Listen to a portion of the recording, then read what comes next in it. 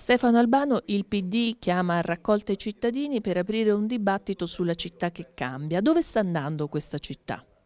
Dove, dove, deve andare lo dobbiamo decidere noi. È chiaro che in questo momento nel dibattito stanno eh, emergendo dei temi che inesorabilmente ridisegneranno il volto della futura città, eh, diciamo dalla vicenda dei parcheggi in centro fino allo stesso ponte della Mausonia. Eh, quello che secondo noi in questo momento è importante è che queste opere, come per esempio il ponte, che io ritengo sia un'opera positiva, ma attorno a queste opere si sviluppi un ampio dibattito, perché se rimane un'opera isolata rischia di essere un'occasione sprecata.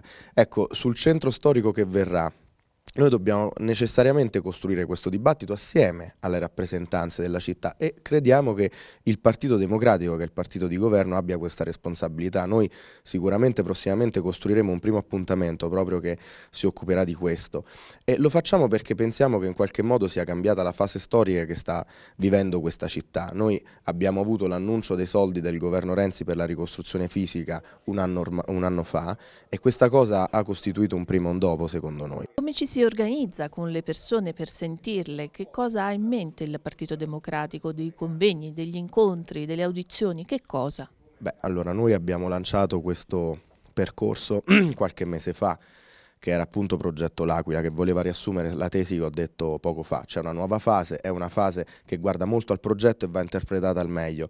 Sì, noi, eh, noi costruiremo un percorso fatto di tappe. E il primo sarà a febbraio, lo, siamo, lo, stiamo finendo di ultimare, e sarà proprio una grande discussione sul, sul centro storico.